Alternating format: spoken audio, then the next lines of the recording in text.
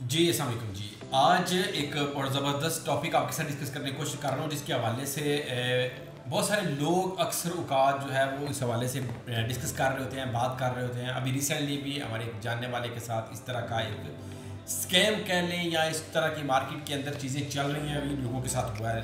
जिसको बहुत हद तक मैं पहले भी अपनी वीडियोज़ के अंदर डिस्करेज कर चुका हूँ, बहुत हद तक लोगों को बताता रहा हूँ कि ये चीज़ कैसे प्रॉफिटेबल हो सकती है। वो है जी, लोग आजकल क्या कर रहे हैं फंड रेजिंग के लिए। लोग क्या करते हैं, कोई भी प्रोजेक्ट स्टार्ट करते हैं और स्टार्टिंग के ऊपर ही वो ये अनाउंस कर देते हैं जी कि अगर आप हंड्रेड परसेंट पेमेंट आज में करते हैं तो आपका वेरी नेक्स्ट मंथ से रेंट आना शुरू हो जाएगा रेंट स्टार्ट हो जाएगा। अब उससे क्या होता है कि वो बिल्डिंग वो प्रोजेक्ट बना है नहीं।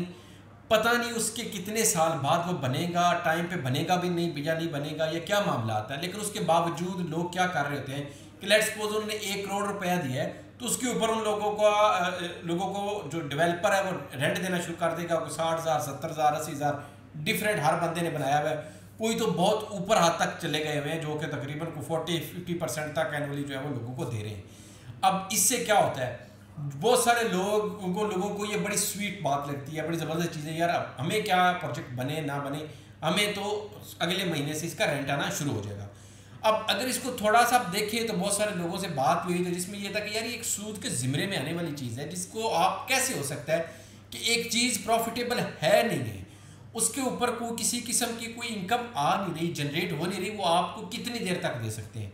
तो उसमें लोग क्या कर रहे हैं कि वो इन्वेस्टमेंट करते हैं, उनको डेवलपर्स रात को दो, चार महीने छः महीने तक रेंट देते हैं, उसके बाद क्या होता है कि उनकी कॉल उठाना छोड़ देते हैं, उसके अलावा उनको डिफरेंट जो है वो मसले मसाइल आना शुरू हो जाते हैं, फिर क्लाइंट चक्कर लगाना शुरू कर देते हैं उनके दफातर के ऑफ़िस के, और फिर वो अपने रोने धोने वो शुरू कर देते हैं। नंबर्स ऑफ़ प्रोजेक्ट्स इस तरह के मौजूद हैं जो कि एग्जिस्ट कर रहे हैं, पाकिस्तान के अंदर जिसके अंदर इस तरह की चीज़ें चल रही हैं। मैं स्ट्रांगली अपने व्यूअर्स को अभी आपसे बात करने का इस टॉपिक के ऊपर मकसद भी है कि जो भी डेवलपर आपको कहे कि बगैर प्रोजेक्ट बने मैं आपको रेंट देना शुरू कर दूँगा, वो लेजिट नहीं है, वो नहीं दे सकते आपको वो रेंट क्यों क्यों नहीं दे सकते? उसकी वजह यह है कि वो अब जब आपका ही पैसा आपको वापस करना शुरू कर देंगे तो उन्होंने वो बिल्डिंग किस पैसे से बनानी है?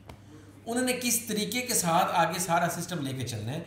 और आज एक चीज़ आपकी, फॉर एग्जांपल आज आपको रेंट देना शुरू कर दिया है। इन्फ्लेशन जितनी तेज़ी के साथ जा रही है कंस्ट्रक्शन प्राइसेस जितनी तेज़ी के साथ ऊपर जा रही हैं तो लॉजिकली ये चीज़ है ही नहीं है कि जो कि रियलिटी बेस्ड हो।